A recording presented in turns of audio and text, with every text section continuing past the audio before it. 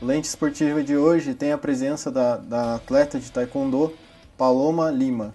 É, ela foi campeã da seletiva nacional aberta e está aqui nos estúdios da TV Câmara hoje para falar sobre isso. Paloma. Boa tarde. Boa tarde. É, como é que foi a preparação para esse torneio que você disputou? Foi intensivo. Eu treinei todos, quase todos os dias, né?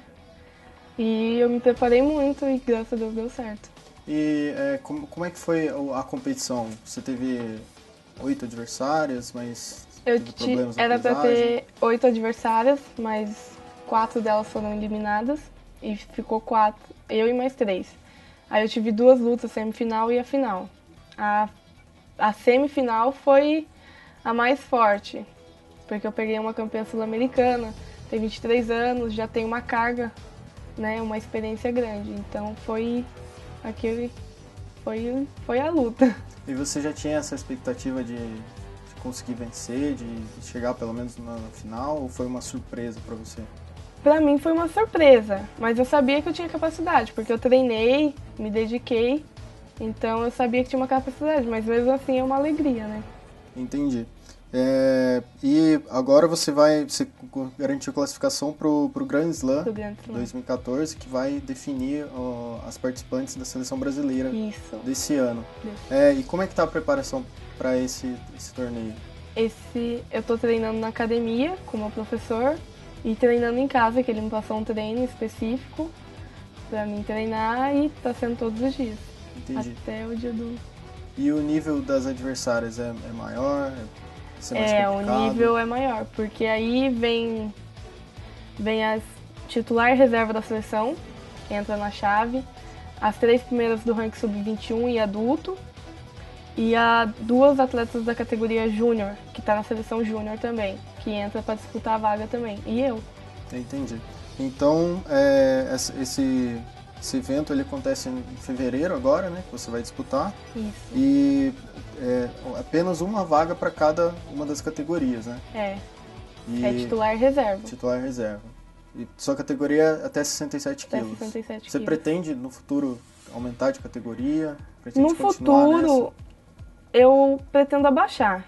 Mas agora é melhor eu ficar onde eu estou mesmo, porque tá, eu estou crescendo na minha categoria, então é melhor. Entendi. E para a Olimpíada, você pretende também manter nessa categoria? Para as Olimpíadas, sua... as Olimpíadas funcionam assim, são quatro categorias só. Para o Mundial são oito categorias, mas para as Olimpíadas são quatro. E a minha categoria está incluída nas Olimpíadas. Uhum. E no uhum. Mundial também. Então por isso que eu pretendo ficar nela. Ah, porque tem tá. como, se eu me classificar, se eu vou tentar, dá pra mim disputar os dois campeonatos que são importantes. Entendi. Você tem algum, alguma, algum ídolo na Taekwondo? Algum, algum que Tenho. você se inspira? A Natália Falavini e Diogo Silva. É, né? São dois atletas ótimos. A Natália, para quem não sabe, ela foi é, medalha de bronze nos Jogos Olímpicos de Atenas 2004, isso, né? Isso. É, tá certo. É, só para terminar então, você tem apenas 17 anos, faixa, faixa preta no Taekwondo. Desde quando que você é faixa preta? Você tem que fazer algum outro exame para manter essa faixa preta? Então, eu peguei minha faixa preta em agosto do ano passado. E eu consegui me destacar muito fácil, muito rápido. Não fácil não, fácil não foi. Eu consegui me destacar muito rápido em questão dos treinos e aí porque eu já disputava em categoria. Quando eu era vermelha, eu já disputava no meio das pretas, para pegar experiência. Uhum. Então isso me ajudou bastante. Agora estou enfrentando as top.